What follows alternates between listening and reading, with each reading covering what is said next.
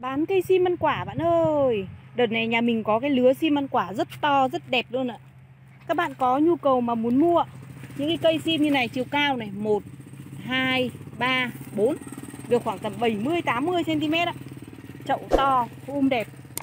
Thì vui lòng alo thật sớm các bạn nhé Số điện thoại là một trong các số điện thoại trên màn hình ạ. Ngoài cái hàng sim ăn quả này thì nhà mình còn có cây sim thái hay còn gọi là cây hoa mua là chuyên để lấy lá và có một loại nữa là loại mua úc ạ. để phân biệt giữa cây ờ, mua mua thái với cả mua úc thì các bạn có thể nhìn ở góc trên bên phải màn hình là đường link đến cái video mà à, mình chia sẻ về cách thức ờ, nhận biết và phân biệt của hai loại cây hoa mua. Đây là cây uh, mua úc ạ. Còn những cái cây mà có cọc cọc như này là cây xi măng quả nha bạn nha đó, các bạn có nhu cầu thì ủng hộ giúp nhà mình ạ. Cảm ơn các bạn.